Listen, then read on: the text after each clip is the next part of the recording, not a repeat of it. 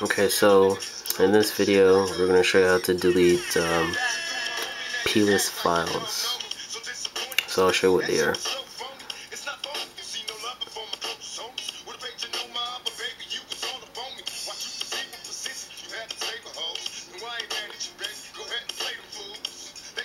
So plist files are like um, cache files after downloading files from Cydia, and once removing them from your phone, the plist file still stays on your phone.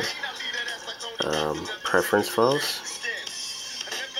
So there's at least three downloads that I have downloaded from Cydia, which have been removed, but the files are still on the phone, which are these three files that I have D highlighted. So I no longer have these tweaks on my phone, but the file is still on my phone. So how to remove these files, if you do have package backup, you'll notice each time you download something, your preferences files, they increase, regardless of you removing the file from your phone. So we're going to show you how to delete these preference files. So you need iFile,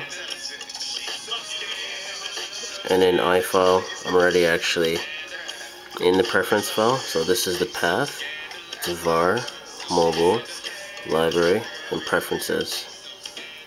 So what I'm gonna do I'm gonna delete the file that I no longer have which is this one here.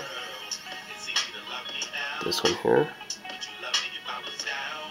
And that one there. So I no longer have those files, so those files have been removed from the library. So we're going to go back, go back to package backup.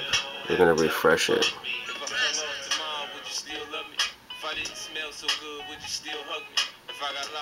And as you can see, it's been deleted.